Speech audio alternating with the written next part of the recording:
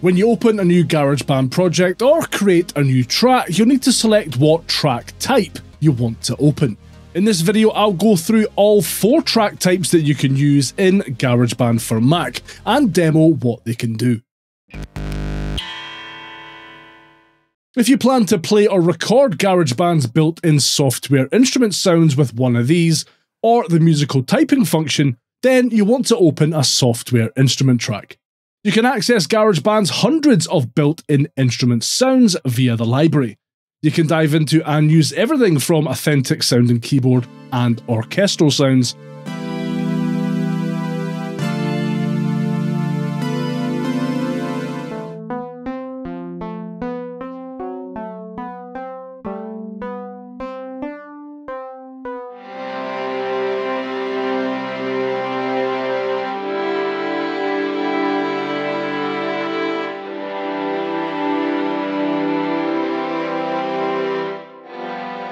to a huge variety of synthesizer sounds.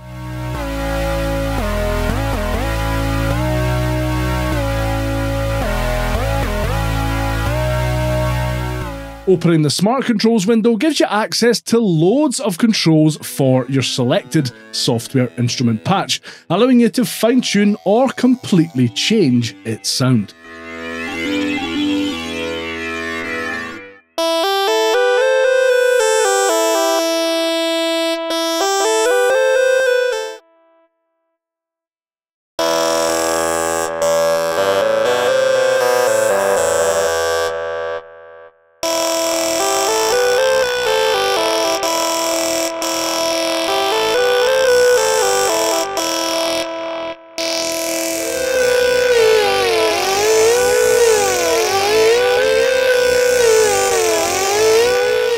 If you want to set up a drum or percussion beat using GarageBand's excellent virtual session players, choose the Drummer track.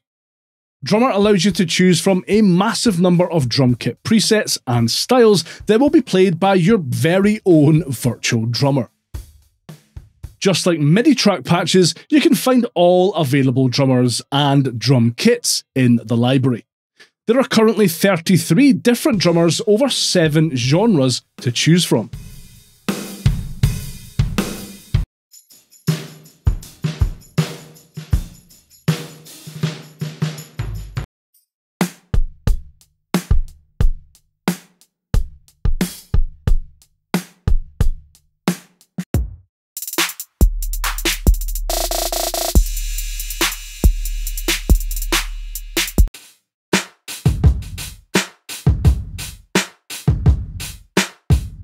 Once you've picked your drummer, you can dynamically tweak their playing style, which parts of the kit they play, how simple or complex their performance is, and much more in the Drummer Tracks editor window.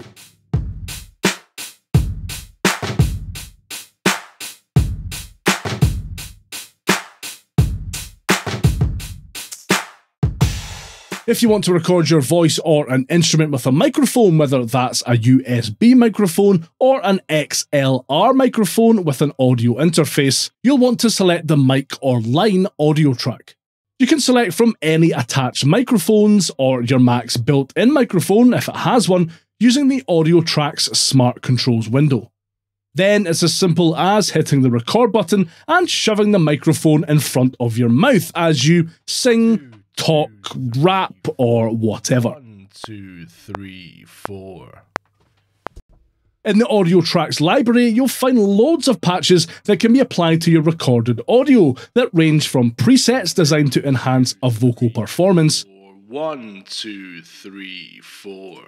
Two, two, three, four. One, two, three, four.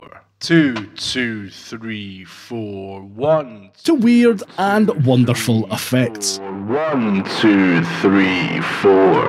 Two, two, three, four. One, two, three, four. Two, two, three, four. One, two, three, four.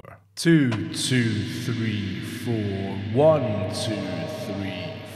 If you want to hook up an electric guitar or bass using an audio interface, select the guitar or bass audio track.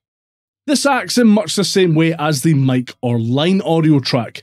You can select any attached inputs from the Smart Controls window, and you can access audio patches from the library.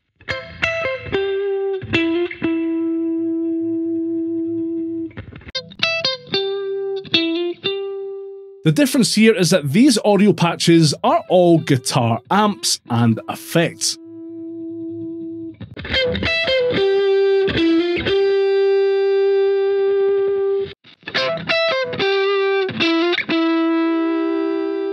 You can tweak the sounds of your guitar or bass presets by diving into the controls in the track Smart Controls.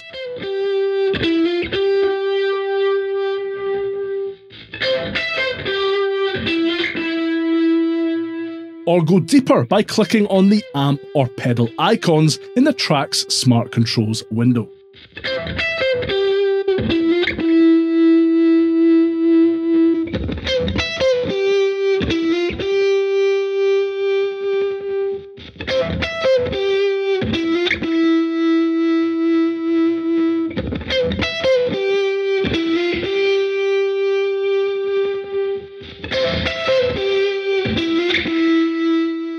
Let me know your thoughts on GarageBand's four different track types and how you use them down in the comments, and give that like button a good hard slap on your way past. I really appreciate it. For more in-depth info on all of GarageBand's track types, check out the links that are in the description below this video, or stick around and watch this video next for more info on how to get started with GarageBand for Mac.